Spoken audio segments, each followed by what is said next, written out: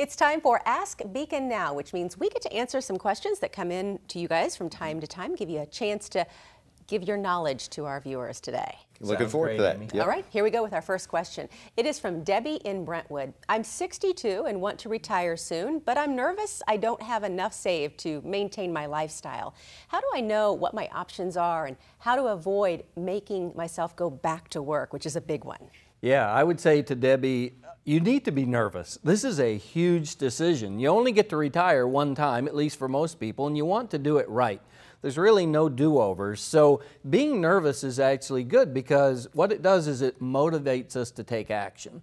And what Debbie has done is she has called in and she's reaching out to get more information like am I okay? I think everybody asks that question. Am I really okay? How much longer might I live?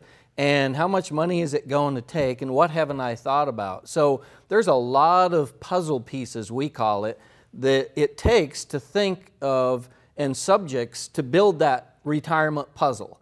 Things like income, growth, protection, uh, legacy, taxes, uh, you know, there's just a lot of different pieces. So good question. And the thing is to take time to plan and then when you are done, you're going to know whether you can confidently step out into that retirement. Chances are you're ready. Yeah, we all want to maintain our lifestyle, I imagine, in retirement. That's important. Okay, question number two from Rob in Hendersonville. I'm turning 72 soon, and know I need to be thinking about required minimum distributions, but I don't know where to start. All right. Well, you know, Amy, Rob's got a great question because required minimum distribution is kind of a new stage in retirement for a lot of people because a lot of people will just defer their IRAs, their 401ks until they reach 72. And then the federal government says you've got to start taking money out. So the assumption is you take an equal amount of money out of each IRA that you have. So for example, if you have five IRA accounts and you have a total of $20,000, you just take $4,000 out of each account.